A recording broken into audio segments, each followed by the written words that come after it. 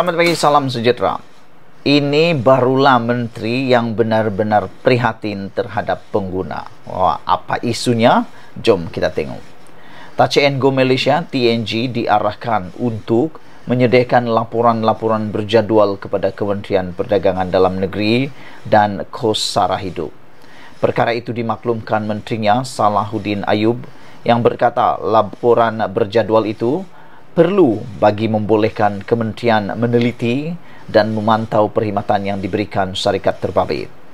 Mereka iaitu TNG, Touch and Go perlu berikan laporan terperinci kepada kita daripada semasa ke semasa iaitu laporan berjadual kata beliau.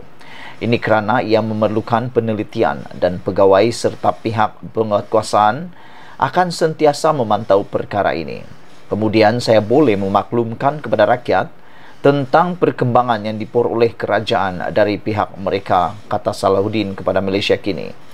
Dia berkata demikian ketika ditanya berkenan pertemuannya dengan pihak TNG hari ini. Ia selepas Salahuddin memanggil TNG bagi memberi penjelasan susulan aduan ramai pihak berkenan kad prabayan visa TNG yang tidak boleh digunakan untuk membayar tol dan tambang pengangkutan awam. Mengulas lanjut, Salahuddin berkata, pihaknya juga memberikan satu tempoh masa untuk touch and go memastikan perkhidmatan terbaik dapat diberikan kepada pelanggan mereka.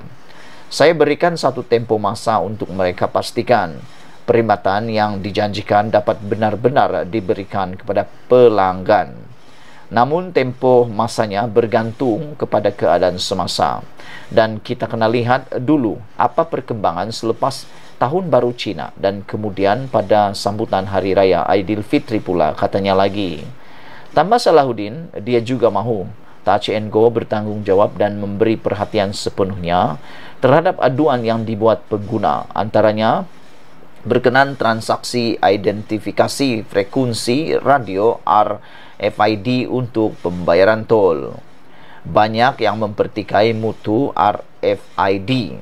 Saya sendiri pun berdasarkan pengalaman pribadi banyak kali terganggu dan walaupun memakan masa hanya beberapa minit atau saat tetapi ia mengganggu lalu lintas kata beliau.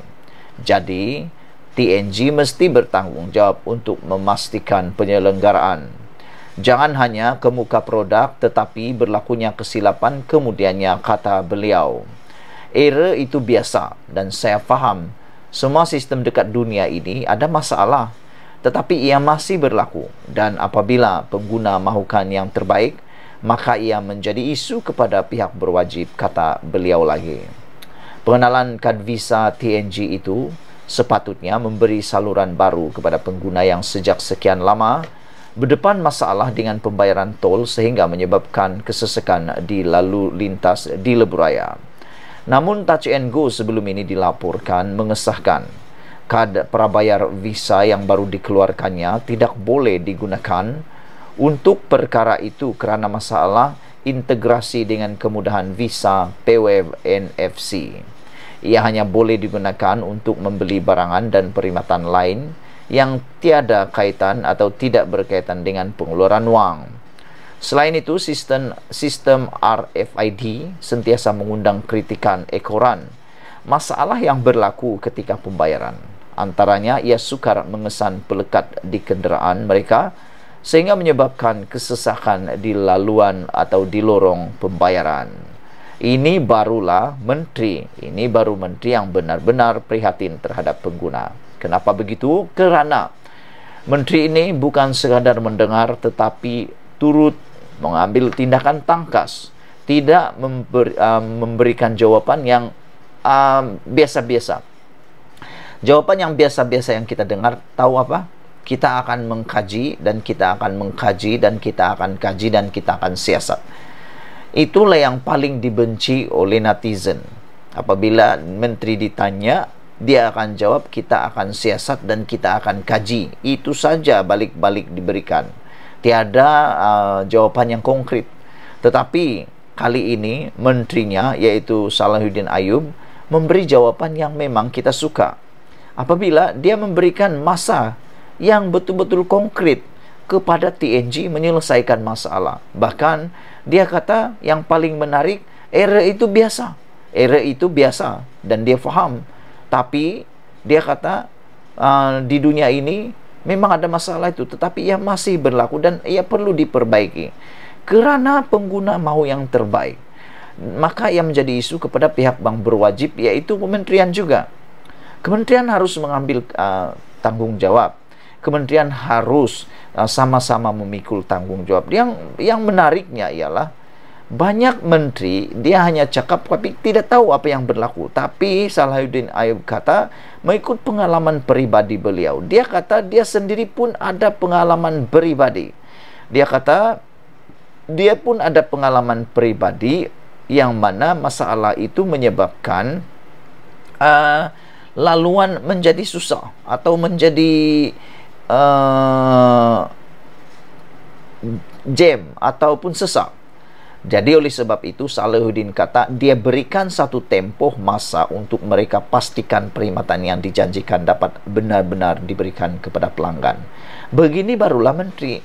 Jangan takut dengan syarikat TNG. Jadi sesuailah menteri ini kata dia beri masa. Dengan kata yang lebih uh, keras atau kasar, dia sudah memberikan kata dua lah ni kan. Dia sudah memberikan amaran kata dua kepada TNG. Bukan hanya suruh siasat, bukan hanya suruh uh, membuat kajian, tetapi dia beri masa, satu masa untuk perkhidmatan itu ditambah baik. Paling baguslah kan kalau dia ada tempo masa, period dia mesti ada supaya mereka boleh bekerja tampil memberikan uh, jawapan ataupun menambah baik memperbaiki dalam satu jangka waktu masa. Kalau hanya mengkaji 20 tahun pun uh, tak akan dapat selesailah masalah tu jadi saya suka apabila menteri ini yaitu Salahuddin Ayub dia kata dia perlu diperbaiki dengan secepat mungkin. Kerana banyak yang cakap walaupun kita di Sabah tidak gunakan touch and go untuk lalu lintas tapi kita selalu membaca dalam laporan media paling bagus kita tengok di TikTok, di Twitter, di Instagram, di Facebook ramai juga yang mengutuk apabila uh, sistem TNG untuk laluan yang uh, di jalan raya itu tidak boleh digunakan seperti yang diwar-warkan dan banyak kesalahan uh, atau berlaku error ini mengundang kritikan ekoran masalah yang berlaku ketika pembayaran. Antaranya ia sukar mengesan pelekat di kenderaan mereka sehingga menyebabkan kesesakan di lorong pembayaran. Ada yang tulis kata lebih menyenangkan tapi yang jadi kata mereka lebih menyusahkan. Jadi sesuailah sangat apabila menteri ini kata perlu diperbaiki dalam masa yang terdekat uh, dalam satu period masa yang telah diberikan. Uh, jadi saya setuju dengan tajuk diberikan oleh Sabudin ini. Ini barulah menteri yang benar-benar prihatin terhadap pengguna. Kita suka menteri yang begini. Malaysia kita punya. Juga sama-sama cintai Malaysia ku. Bye bye.